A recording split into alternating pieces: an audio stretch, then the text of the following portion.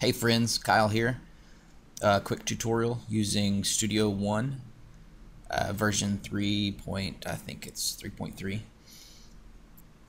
Uh, I'm going to show you real quick how to pack tracks into a folder. Studio One, it's called Pack Folder. So what you do first is select the first one, come down, hold down Shift, and select the last one you're going to want to put all these in a folder.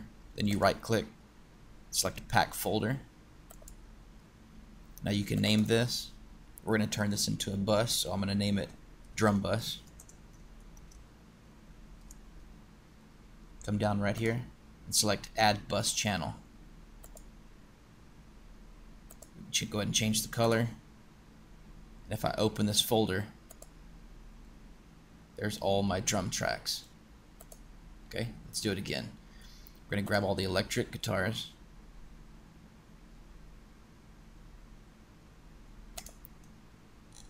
Make sure I got all those.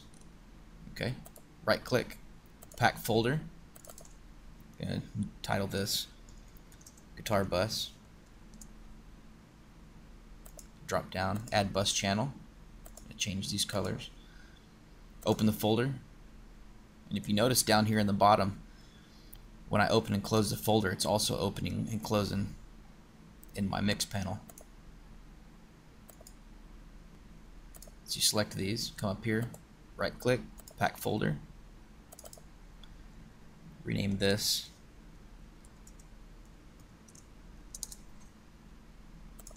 select add bus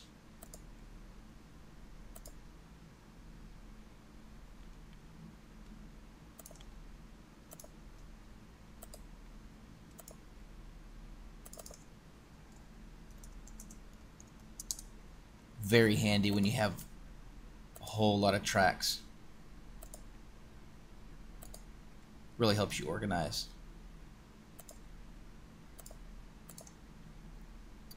And there you have it. How to use folders in Studio One.